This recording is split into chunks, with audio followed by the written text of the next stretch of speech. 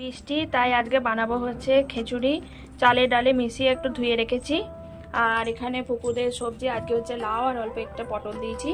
এটা হচ্ছে পুকুরের সবজি, এখন কাটছে হচ্ছে এই খিচুড়ির জন্য যা কিছু সবজি।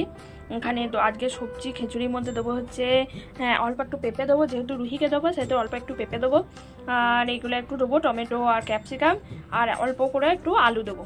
মানে তাতে আর কি গোটাটা তরকারি পাতিতে আর বেশি কিছু করব না, সঙ্গে একটু একটা মাছ ভাজা করব, আর একটু পাঁপড় ভাজা করব। দেখি, ডিম যদি রুহি খায়, তাহলে ডিম রুহিকে একটা করে দেবো। এই হচ্ছে আজকের মেনু কারণ বাইরে হচ্ছে তুমুল বৃষ্টি।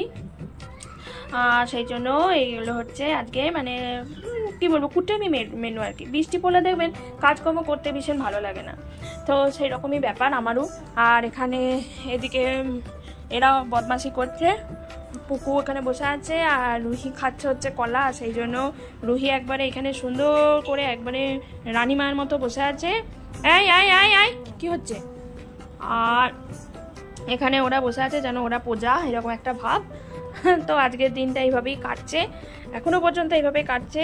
ভালোই কাটছে, এখনও দেখা যাক। এতে করে একটু শীত শীত মতো লাগছে, বেশি ঠান্ডা লাগছে।